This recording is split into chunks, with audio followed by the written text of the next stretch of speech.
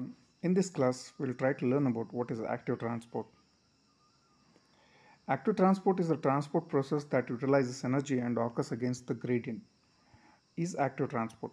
Three common characteristics of active transport mechanism are its uphill transport. Transport occurs against the electrochemical gradient of the substance.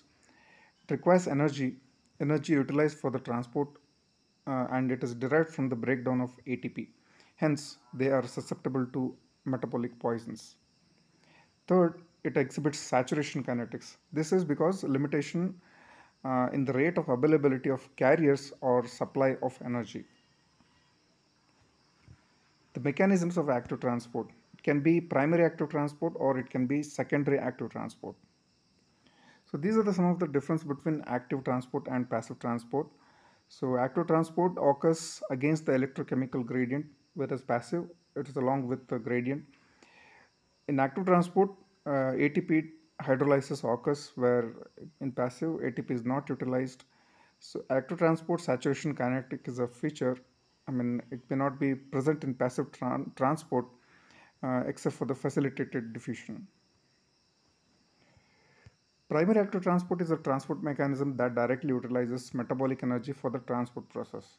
The mechanism is operated by uh, ion pumps.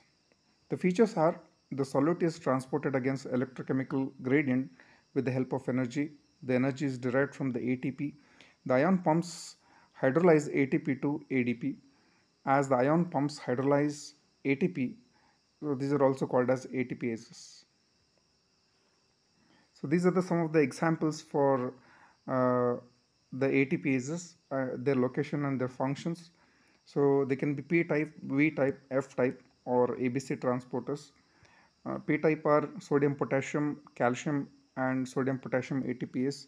So most of them, I mean uh, sodium potassium it, it is present in all the cell membrane. Calcium uh, is present in sarcoplasmic retic reticulum and potassium uh, hydrogen ATPase is present in cell membrane. So H hydrogen ATPase is present in lysosomal membrane. Uh, mitochondrial ATP synthesis present in inner mitochondrial membrane. CFTR protein uh, which is present in plasma membrane and MDR1 protein is present in uh, plasma membrane. ATPases. The commonly occurring ATPases are sodium potassium ATPase or sodium potassium pump. The other common ATPases are calcium ATPase, hydrogen potassium uh, ATPase and uh, hydrogen ATPase. ATPases are classified into P type that is phosphorylation type, V type or vacuolar type or F type, uh, energy coupling factor type and ABC transporters. Sodium potassium ATPase. The sodium potassium ATPase is an antiport that pumps potassium into the cell and sodium out uh, of the cell against their concentration gradients. This antiport transport system is primarily responsible for maintaining the high potassium and low sodium concentration inside the cell.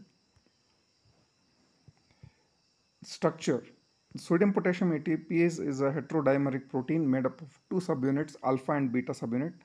The alpha subunit at the cytoplasmic site, the alpha subunit has a ATPase activity and binding site for uh, 3 sodium, ATP and phosphate.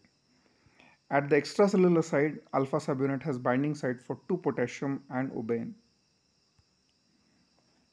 So this is the diagram of uh, sodium potassium pump.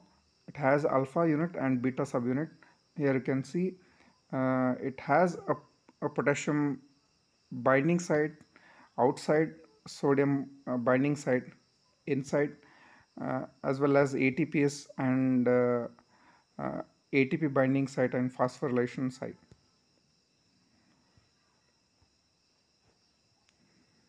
Functions of sodium potassium pump.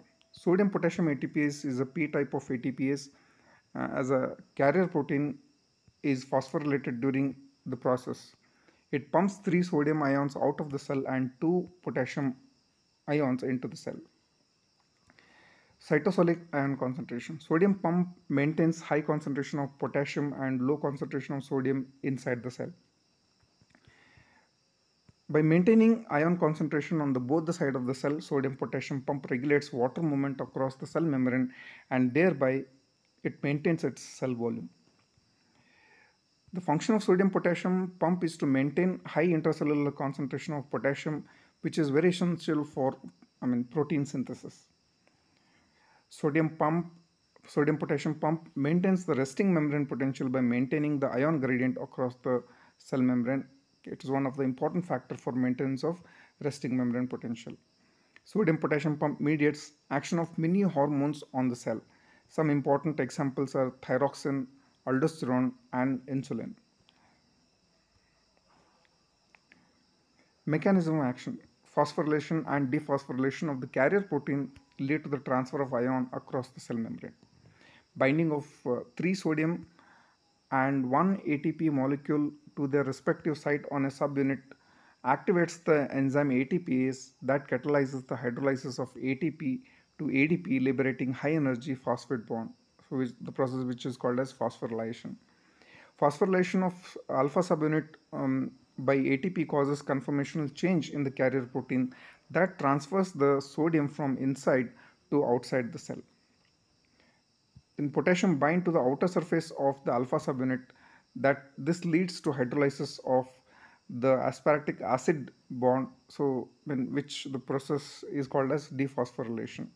Dephosphorylation in turn causes reconfirm, reconformational changes in alpha uh, subunit that transfers to potassium uh, outside to the inside of the cell. So then reconformational changes uh, of the carrier protein uh, occurs that returns uh, to the original conformation. Regulation of sodium potassium pump activity. So many hormones, chemicals, drugs act by increasing sodium potassium pump activity such as thyroxine, insulin, aldosterone, G-actin, etc. Many hormones and chemicals act by decreasing sodium potassium pump activity such as dopamine, digitalis, metabolic po poisons like DNP, uh, etc. Hypoxia and hypothermia inhibit potassium pump activity. So this is again the diagram showing uh, sodium potassium pump.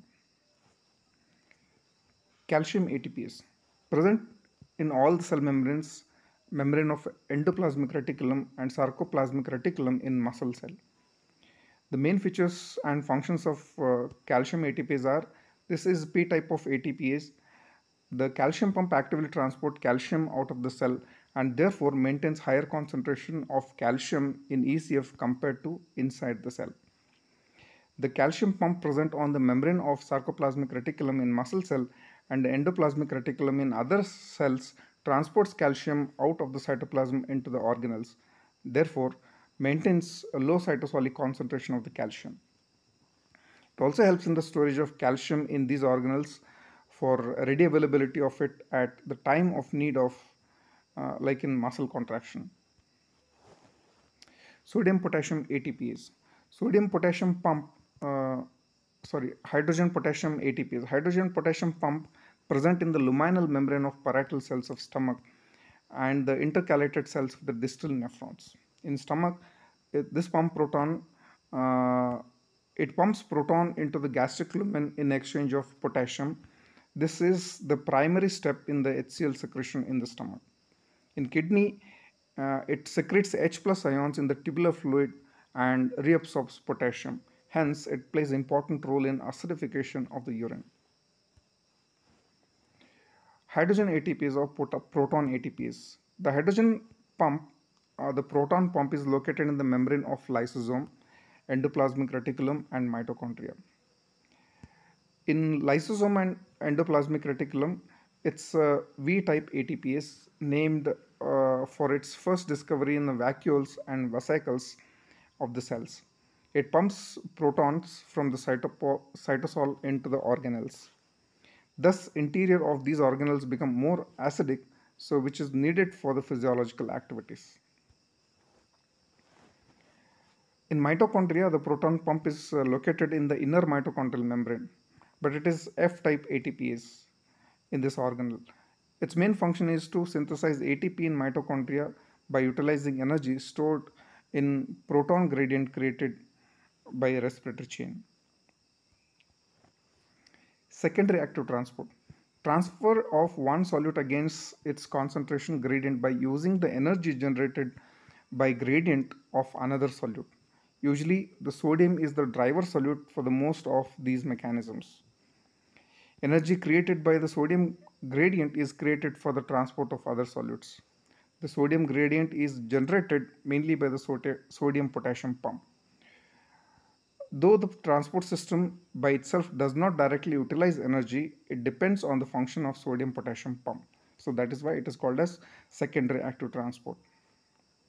The typical example for secondary active transport is reabsorption of glucose from kidney tubule or in the intestine. Steps are as follows.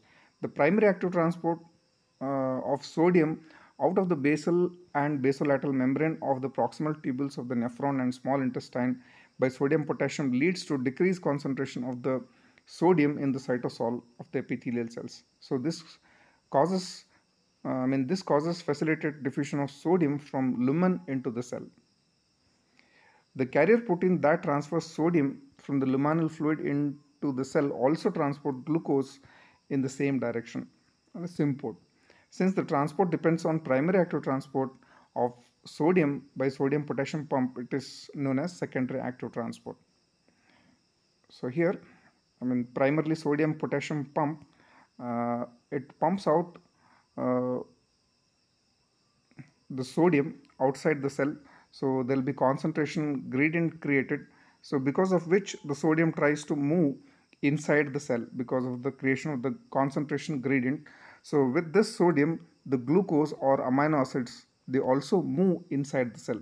Okay so this is called as secondary active transport. So this is in brief about uh, the active transport. Thank you